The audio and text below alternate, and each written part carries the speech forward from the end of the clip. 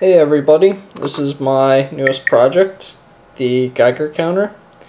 I built it over uh, the span of three weeks, I think.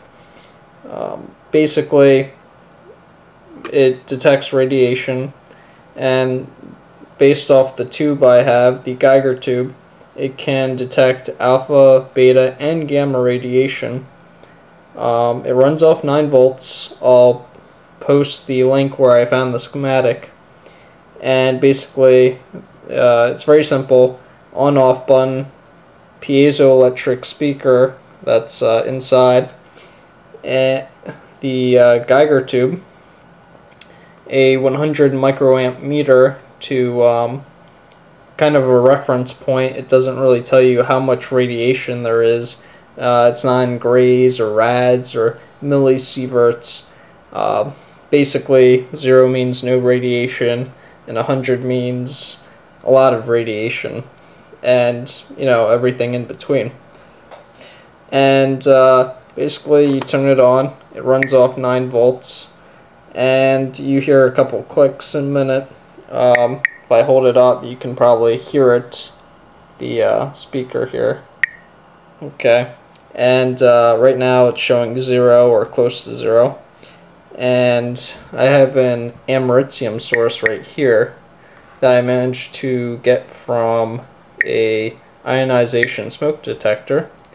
So if I pick that up, let me try to show you how that looks like if the camera can focus. Ah, well, it can't. But basically, um, if I hold it up to the Geiger tube, wherever the Geiger tube is. Hold on. There we go. It, uh, it easily overloads the uh, amp meter. And let me uh, open it up and show you how it looks on the inside.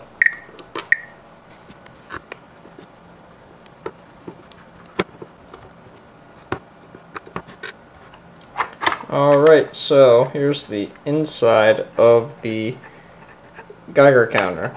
Um, here's the amp meter here.